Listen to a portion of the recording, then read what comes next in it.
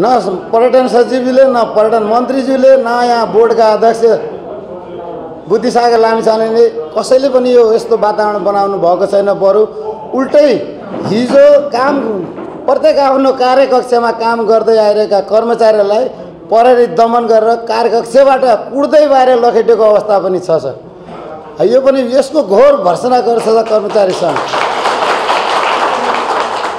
अब अर्को कुरो भन्नुपर्दा विगत केही वर्ष केही वर्षसम्म नाफामा चलिरहेको अथवा हाम्रो सा ब्याज भनौँ न बराबरमै चलिरहेको उसमा अहिले पछिल्लो उसमा चाहिँ घाटा हुने कारण के? यहाँको व्यवस्थापन घाटो हो कि यहाँको चाहिने हाम्रो संस्थान घाटो हो त्यो चाहिँ बुझ्नु जरुरी छ। यहाँको व्यवस्थापन जुन यो सरकारी नियुक्ति भएर मन्त्री पछि मन्त्री जति चेन्ज भए त्यति चाहिँ यहाँ महाप्रबन्धक चेन्ज हुन्छन्। म त सबभन्दा दोष भनेको महाप्रबन्धकको मात्र होइन। ऊ भनेको एउटा सरकारी नियुक्ति हो दुई दिन आउँछ जान्छ। तर यहाँका माथिल्लो पोस्टमा बस्नेको उनले ऊभन्दा बढी महत्त्वपूर्ण हुन्छ संस्था जोगाउनेमा। उसले जब यस्तो छ भनेर यहाँको चाहिँ नि पुरा त्यो कुराहरू चाहिँ नि उसलाई नसुनाएपछि उसले कसरी अगाडि बढाउन सक्छ? यो पनि सोच्नुपर्ने आवश्यकता छ।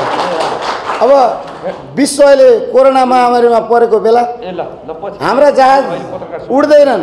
अब यतिसम्म म भन्न चाहन्छु प्राइभेट एयरलाइनले तपाईँको सय दुई सयवटा फ्लाइट गरिसकेको छ डेढ सय दुई सयवटा फ्लाइट गरिसक्यो।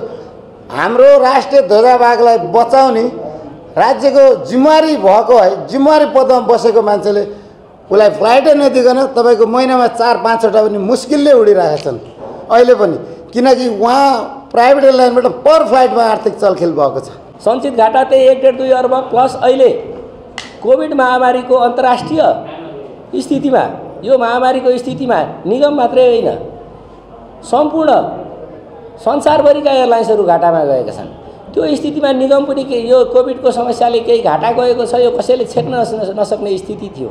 यो घाटालाई चाहिँ कसरी परिपूर्ति गर्ने? व्यवस्थापनसँग प्लान हुनु पऱ्यो कसरी यसलाई चाहिँ सहयोग गर्ने? सरकारसँग चाहिँ सहयोगी हात हुनु पऱ्यो यी चिजहरू मात्रै अहिलेको तत्काल आवश्यकता हो। होइन भने निगमलाई राम्रोसँग सञ्चालन गर्न सक्दा अहिले पनि नाफामा जान सक्छ भन्ने हाम्रो दिगो विश्वास छ र निगमका महाप्रबन्धकदेखि बाहेक एघार तहका नायब महाप्रबन्धकदेखि लिएर एक तहका कर्मचारीसम्म सम्पूर्ण चौध पन्ध्र सय कर्मचारीको एउटै चाहिँ हाम्रो विश्वास र अडान छ कि यो निगम पूर्ण सरकारी स्वास्थ्य स्वामित्वको संस्थाकै रूपमा अझै पनि राम्रोसँग नाफामा जान सक्छ सञ्चालन गर्न सकिन्छ र देश र जनताको लागि अझै सेवा गर्न सक्छ भन्ने हाम्रो विश्वास हो।